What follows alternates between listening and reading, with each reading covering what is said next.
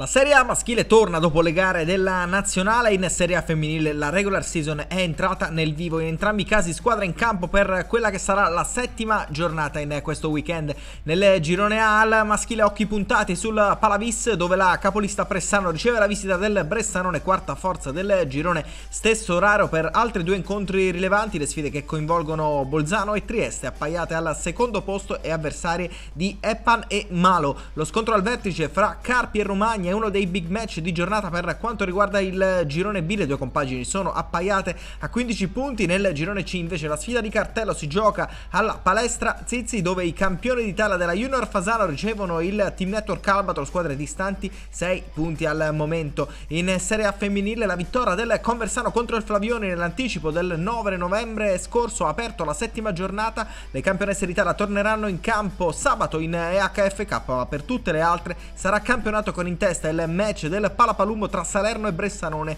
dove le campane cercheranno di mantenere la loro imbattibilità al pari del Conversano. Al Palaposchetto altro match attesissimo è il derby cittadino che oppone Stenze e Ariosto Ferrara. Nel frattempo la Casalgrande Padana cerca la quarta vittoria stagionale sul campo del Dosso Buono. La Globo Palace Biopta Teramo cerca il balzo nella prima metà della classifica ospitando il Nuoro al Pala San Nicolò al pari del Cassano Magnago che invece davanti al pubblico di casa fa i conti con i desideri di riscatto dell'Ali Mestrino.